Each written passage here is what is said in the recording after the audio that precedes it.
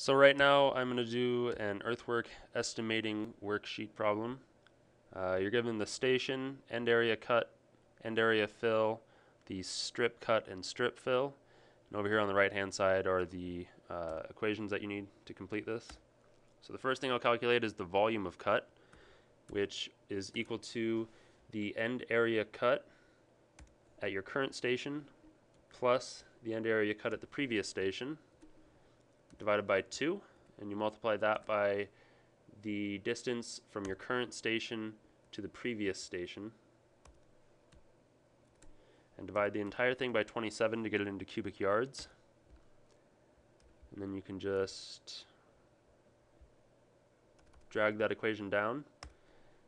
And the next thing you can calculate is the volume of fill, which is the same calculation pretty much, but you use end area fill instead of end area cut. So you have end area fill of your current station plus the end area fill of your previous station divided by 2 and multiply that by the distance from your current station to the previous station. And divide the entire thing by 27 again to get it into cubic yards and then just drag that formula down. And the next thing you need to calculate is the total cut which is equal to the volume of cut minus the strip cut.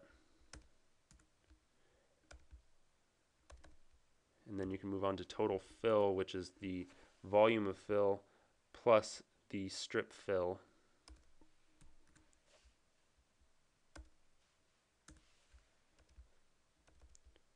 And the next thing you need is the adjusted fill which is equal to the total fill divided by 0.9.